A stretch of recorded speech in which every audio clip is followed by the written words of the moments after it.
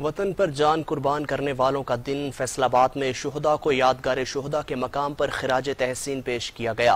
मजीद जानते हैं मोहम्मद रिजवान हुंदल की इस रिपोर्ट में।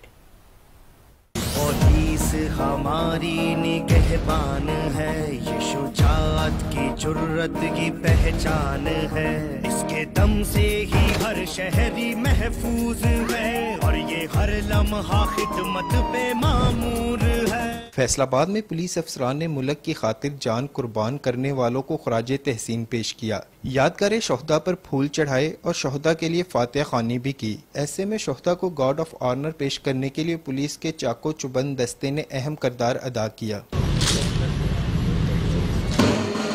तकरीब में regional police officer Rifat Mukhtar Raja city police officer captain retired Suhail Chaudhry समेत एसपी, डीएसपी और पुलिस एहलकारों की बड़ी तादाद ने शिरकत की। सीपीओ का कहना था कि वसाइल की कमी और मसाइल के बावजूद पुलिस ने अपनी जिम्मेदारियाँ भरपूर तरीके से निभाई। इनकी कुर्बानियाँ इस बात का सबूत है कि पाकिस्तान महफूज हाथों में है। हमारा ये बिलीफ है कुरान पाक में भी है कि शहदा का दर्जा सबसे बुलंद है।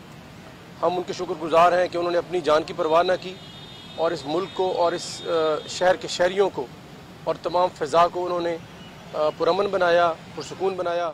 दुश्मन के मजमूम अजाइम को पछाड़ते हुए किला कुमा करने वाले 107 पुलिस शहदा की याद को ताज़ा किया गया। पुलिस के आला अफसरान ने शहदा को महकमे के माथे का झूमर करार दिया।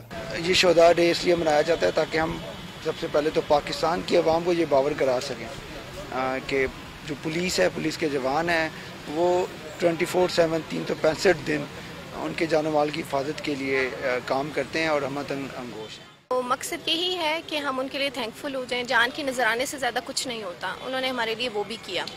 हमारी जान और माल की हिफाजत के लिए अपनी जान तक का नजराना कोरोना वबा के बाईस योम में पुलिस शहदा की तकरीब को इंतहाई महदूद किया गया और कोरोना एस ओ पीज का भी ख्याल रखा गया। कैमरा मैन इब्रार अहमद इब्रार अहमद के साथ रिजवान हुंदल सेवन न्यूज़